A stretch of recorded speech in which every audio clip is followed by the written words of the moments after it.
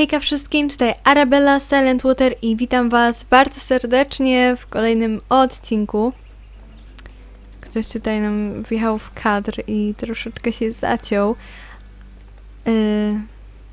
No dobrze. Może ja po prostu zmienię miejsce.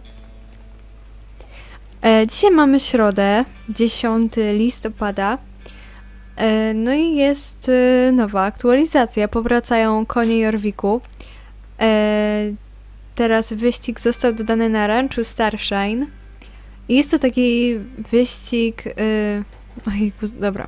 Jest to taki wyścig westernowy dla koni westernowych. Jak widzicie, tutaj ładnie sobie przygotowałam już outfit, żeby ładnie pasował, wpasowało się to w odcinek.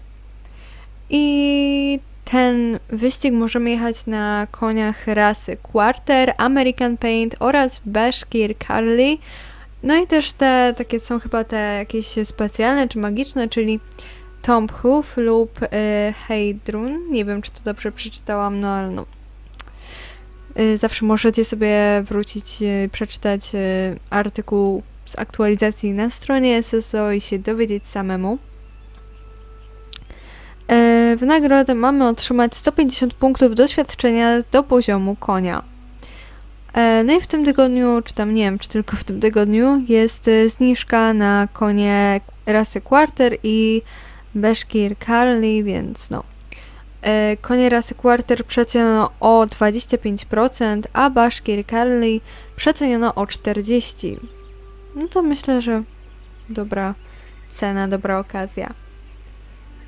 E, I w przyszłym tygodniu będzie też e, chyba nowe kuce islandzkie. No myślę, że to może być fajne. Także już dłużej nie przedłużając, bierzemy się za aktualizację. Ja już jestem tutaj na ranczu Starshine, na moim American Paint, tym najnowszym koniku. Heja! Jestem Guillermo Gadea, jeden z założycieli wyścigów monorasowych Kajot. Kajot to skrót od koni Jorwiku, jeżeli tego jeszcze nie wiesz. To mała organizacja, która została powołana do życia na cześć naszych pięknych jorwickich wierzchowców. Razem z przyjaciółmi organizujemy wyścigi monorasowe dla konkretnych ras koni oraz ras o podobnych cechach. Uważamy, że to idealna okazja, by jeźdźcy się spotkali i podzielili miłością do koni. Tym razem mamy świetny wyścig na ranczu Starshine. By wziąć w nim udział, musisz przyjechać na koniu Bashkit Carly rasy, y, rasy Quarter lub American Paint. Jeżeli chcesz wziąć udział w tych zawodach, po prostu ze mną porozmawiaj lub zaproś znajomego i rozpocznijcie wyścig, zapisując się na stojącej obok mnie tablicy ogłoszeń. No okej. Mam nadzieję, że niedługo zobaczę, jak się ścigasz. By wziąć udział, no to już było tutaj. Gotowa? Do dzieła. No to co, kochani, jedziemy.